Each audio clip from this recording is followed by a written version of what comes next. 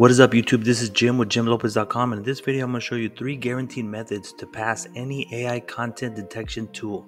So without further ado, let's get started. So the first guaranteed method is to use Jasper.ai. For some reason Jasper uses more of a proprietary uh, technology that is not easily detected by an AI detection tool. So I went ahead and logged into my Jasper account and I went ahead and, and clicked here. It says, what is the future of AI writing for blogging? So this is the actual output that I got from Jasper. So what I went ahead and did is I went ahead and copied this and I brought it over to um, Content at Scale. AI has an AI detection tool. There's several out there. Uh, there's another one called Writer.com and then Originality.ai. These are a few uh, AI detecting tools. Some of them are free. Uh, this one here, which is a content at scale, is free. The originality, I believe they have a pricing plan for that one. But what I went ahead and did is I, I went ahead and paste the content that I grabbed from Jasper. And I'm going to go ahead and click right here is check for AI content. And right here I get human content score of 100. Looks great. So most of the time that I, almost 99% of the time that I use Jasper, I get a 90 or 100 score. Um, if you happen to get anything lower than that, all you have to do is say, let me write the above paragraph in a more conversational manner, and right away it would rewrite it, and you would get it back to 100%.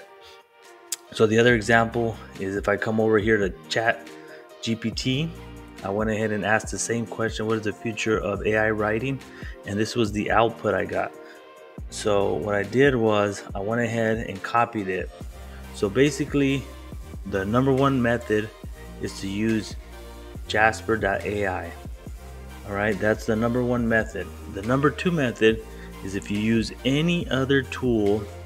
Uh, the example here is like ChatGPT, and you go ahead and test it I'm gonna go ahead and paste ChatGPT's output here. And it gave me a content score, a human content score of zero. Obviously AI.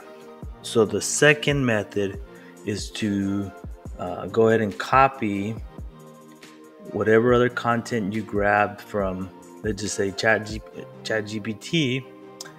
And the second method is to come over to Jasper and under the power mode or one of their templates you can uh, click here where it says content improver. So basically method number two is you're basically just gonna paste and have jasper rewrite the content.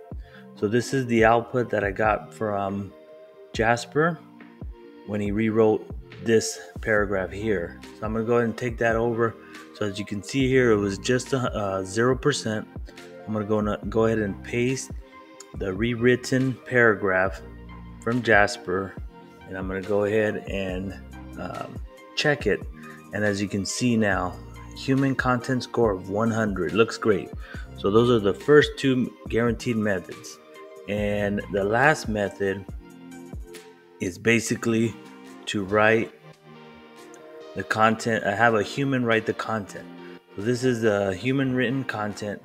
And I'm to go ahead and bring it over to the uh, to the tool or the, the detection tool and I'm gonna go ahead and run it. And as you can see at 96% looks great.